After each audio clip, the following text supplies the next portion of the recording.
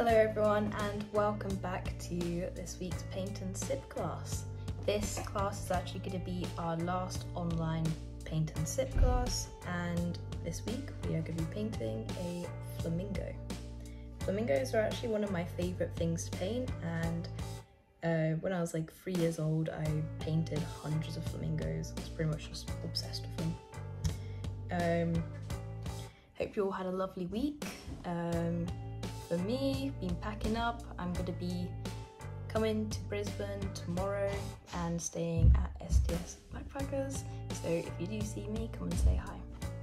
Right, let's get started. Okay everyone, so we're going to start off by drawing the flamingo's shoulder, just at the corner. And then we're going to draw its neck. We'll pause there.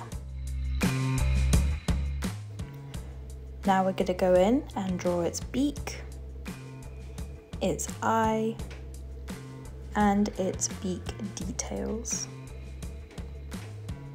And we'll take a pause there.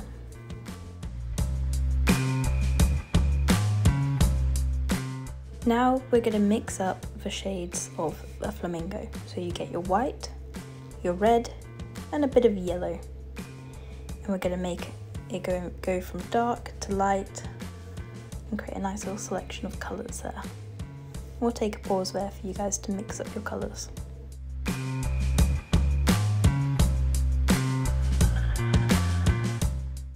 Now we're going to go in with our lightest pink and we're going to go in at the top of a flamingo's head,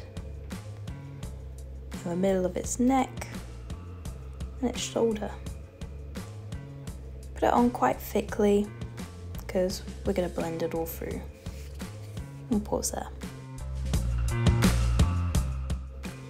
Now we're going to go in with our darker pink and we're going to colour in the remaining areas.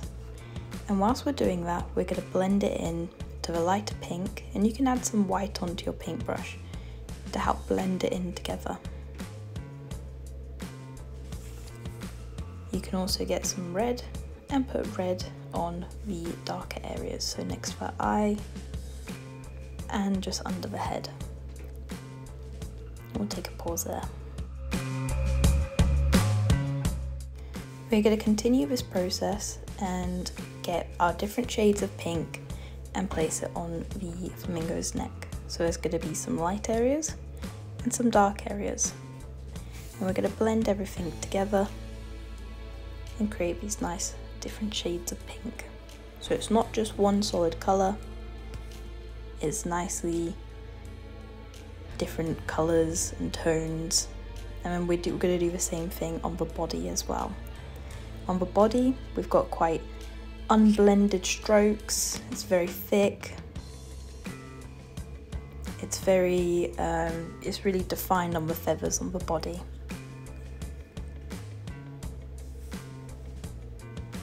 We'll pause there. If you've been to my animal painting classes before, you might know that I go on about layers a lot. We're going to do the exact same thing all over again, but this time, instead of blending loads, we're going to leave these nice little brush strokes on the feathers to make feathers on the neck. And then we'll also get that light pink and put it on the beak. We'll go in again with our red, put some nice reds back in there, our whites back in there,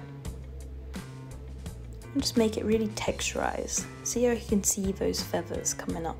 And we'll take a pause. Now we are going to get our black and we're going to colour in that beak. We also have a little line on the beak and that's where the flamingo's nose is. We're going to colour that all in nicely. And it might even be a little bit jagged as well. See? And then we'll do the eye, so we'll colour that yellow. We'll get our black and we'll draw around it and make a little iris.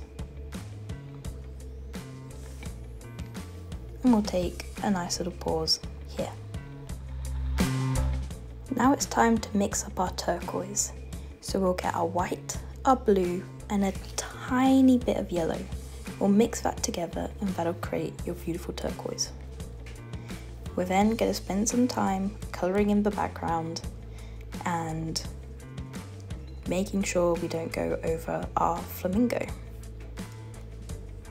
You can, you know, add more texture and different shades of blue, maybe even some green into there. It's up to you.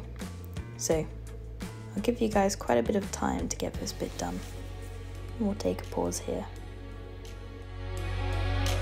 Okay, congratulations everyone. I hope you had fun painting this flamingo tutorial and the last online class. I will be with you teaching in person from next week.